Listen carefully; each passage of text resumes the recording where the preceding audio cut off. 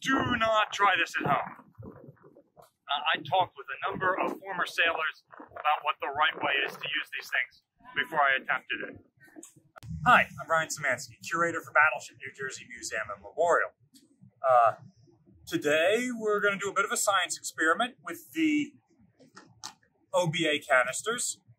Uh, we know that these tend to do bad things if they get wet, uh, or especially if they get oily.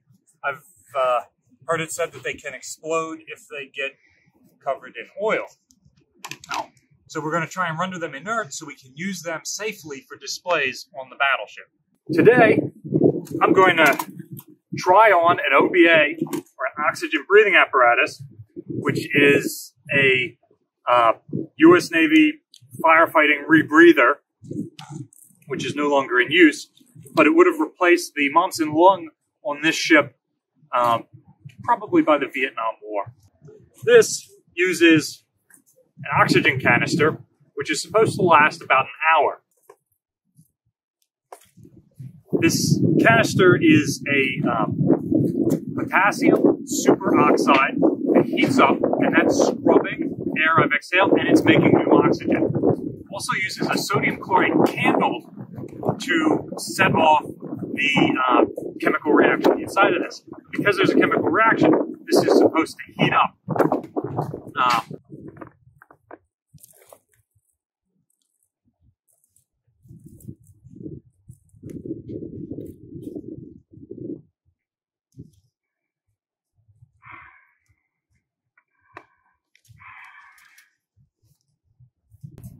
here's your canister. This side towards yourself, just like Claymore mine. It's got handy instructions on the front.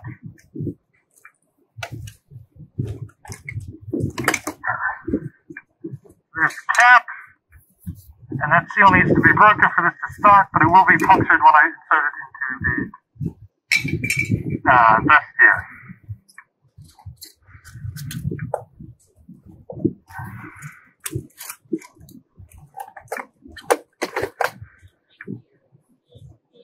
All right, so the first component of this I feel like we need to talk about is the speaker itself. So you can hear me. Maybe you could hear me without the speaker on. It's kind of muffled. When you're using this, the ship is full of smoke. You're, you're probably with your damage control repair party. You're definitely not going to be alone. So communicating with other people is important, and visual beats just aren't going to work well. So it's got this little annunciator pad. It's just a battery pad. It just uses a 9 volt battery and it allows me to talk so you can hear. So you notice there are two hoses. This hose right here is for air coming into the mask, and this hose is air going out. When I squeeze it, I can't draw air. And when I use this one, the mask fills up with air. That's how I can tell that. You'll also notice that there are these lungs on each side that you might see inflating. Because the air is scrubbed and produced via a chemical reaction inside the canister, it comes out extremely hot. And I can feel that canister heating up against my chest right now, which is why the inside is just so heavily padded. So these lungs are actually using some method to cool the air, and it's quite cool as it comes into the mask, which is great because if I'm using this, I'm in the middle of a fire, uh, power's probably out, the, the ship is not going to be cool. So getting a little bit of cool air instead of 200 degree air is real great. The instructions said that the mask could fill with a non-harmful smoke when I first set off the canister. I'm happy to say that didn't happen. Uh, in fact, I wasn't even sure that the canister was working properly at first. I had no idea. Uh, obviously, I never never served in the Navy, uh, and if I had served in the Navy, I wouldn't have been around when these were issued. I believe in 2001, when I was 11 years old, they started to replace these OBAs with the SCBAs, which are more common nowadays. You'll also see on here a timer. It goes up for an hour. That's how long the canister is supposed to last. You only turn the timer to 45 minutes though, and this is going to set off a little alarm bell.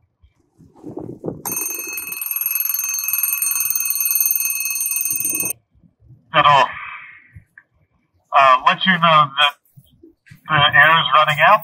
At that point, you've got 15 minutes to get out of that space. If you've got presence of mind, you might dial that on for another 15 minutes after it sounds.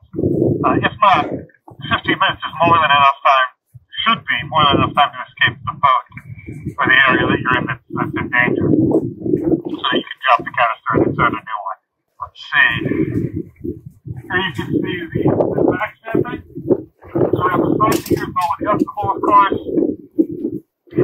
I don't really feel a lot of weight on my shoulders or back. It's more at the bottom here this bar is pressing into my gut. It is strapped on pretty well.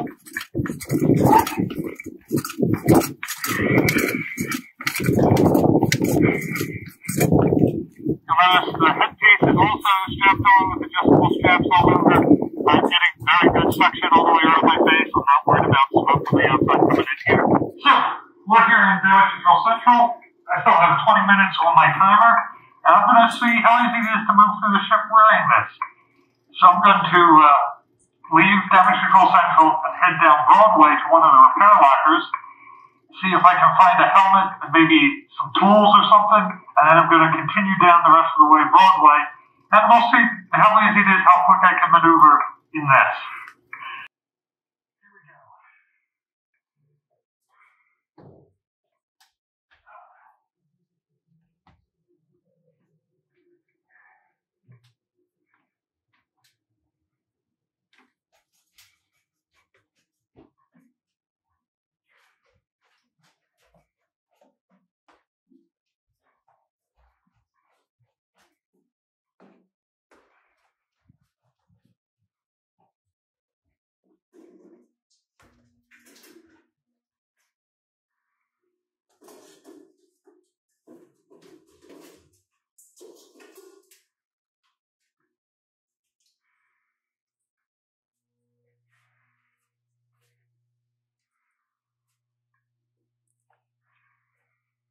These darn.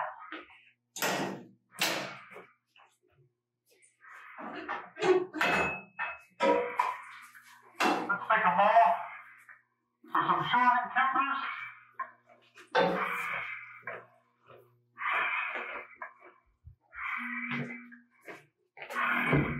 You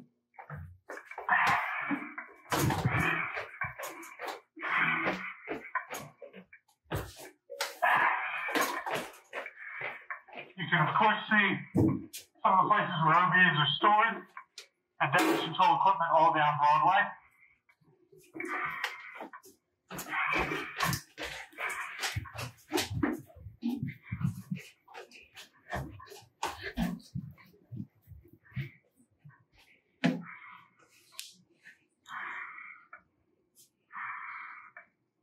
Oh, not too bad to uh, navigate. So I'm not sure what's below me. Uh,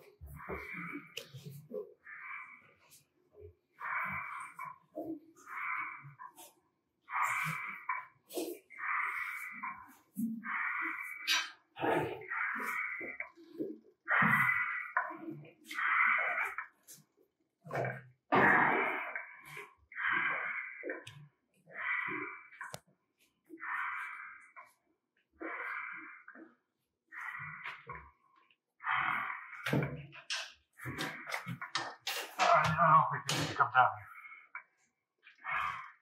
Yeah, so ladders are a problem because I can't see where my feet are and which rung I'm on.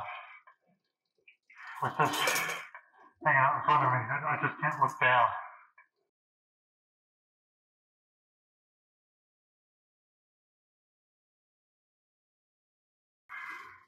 I've been wearing this now for about 30, 35 minutes. It's really starting to heat up. I can, I can really feel it warming my, my chest. So real happy for the cool air thanks to these inflating lungs.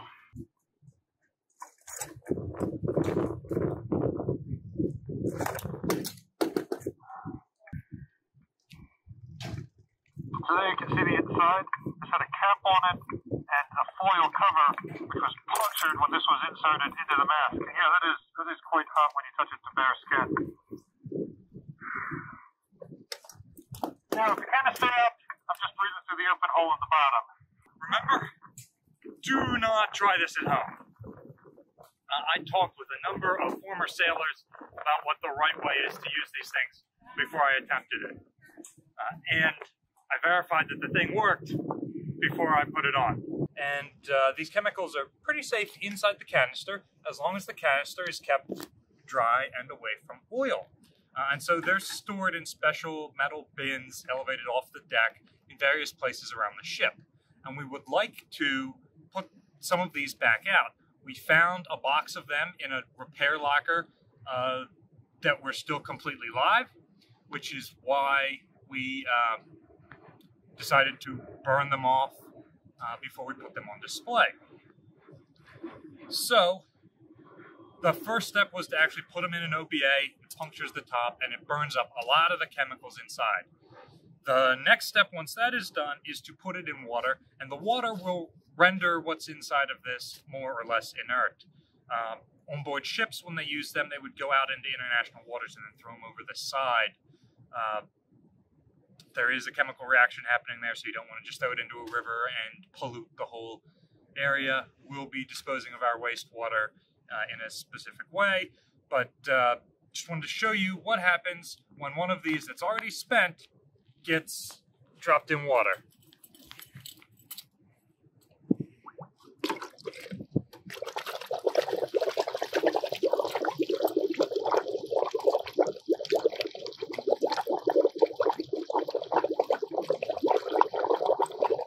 So we've already done this uh, prior to shooting this video. Here's one that hasn't gone in the water. Here's one that was in the water for an hour. Uh, so that shows you that the chemicals in there are pretty caustic. The uh, brass cap comes out black. Uh, there is a chemical reaction going in there, which is why I'm wearing the, the rubber gloves. These also heat up just like when you're using them. The, the chemical reaction is happening. And uh, let's throw a second one in there just for fun.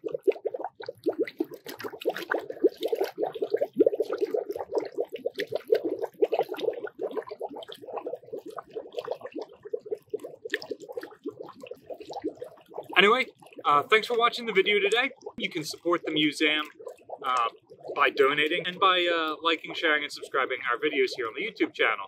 Also, um, if you have any questions or comments, check out the comment section down below. We try to get back to people pretty quickly. Thanks for watching our science experiment today, and I'll see you next time.